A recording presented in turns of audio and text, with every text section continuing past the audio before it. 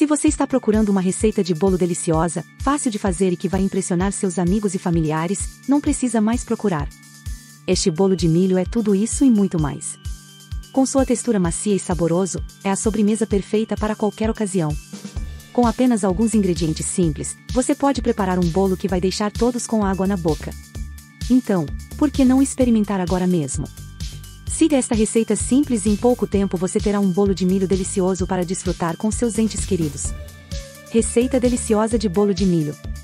Ingredientes: 2 xícaras de milho em lata, escorrido, 1 xícara de açúcar, meia xícara de óleo, 3 ovos, 1 xícara de farinha de trigo, 1 colher de sopa de fermento em pó, meia xícara de leite, uma pitada de sal. Modo de preparo. Pré-aqueça o forno a 180 graus Celsius e unte uma forma de bolo com manteiga e farinha de trigo. Coloque o milho, o açúcar, o óleo, os ovos e o sal no liquidificador e bata até formar uma mistura homogênea. Adicione a farinha de trigo e o fermento em pó e bata novamente até a mistura ficar lisa e homogênea. Despeje a massa na forma untada e asse no forno pré-aquecido por cerca de 35 a 40 minutos, ou até que o bolo esteja dourado e firme.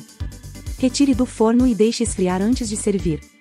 Opcional: você pode adicionar queijo ralado à massa para um sabor ainda mais delicioso.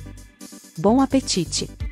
Esperamos que você tenha gostado desta deliciosa receita de bolo de milho e que possa desfrutar de cada mordida com sua família e amigos.